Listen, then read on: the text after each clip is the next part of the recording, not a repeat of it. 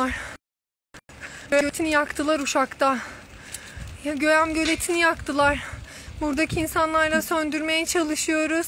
Şimdi itfaiye geldi ama rüzgar var. Yangın yayılıyor.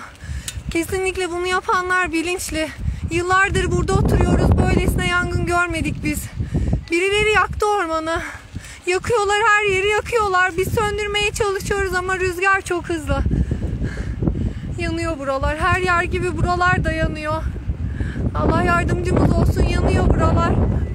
Yanıyoruz. Her yer yanıyor. Göğen göletini yaktılar. Her yer yanıyor. yanıyoruz. Bütün ülke yanıyoruz. Ne olur kimse görmüyor mu, duymuyor mu? Yanıyoruz ya. Yanıyoruz. Her yer yanıyor. Her yer. Göğen göletini yaktılar Uşak'ta.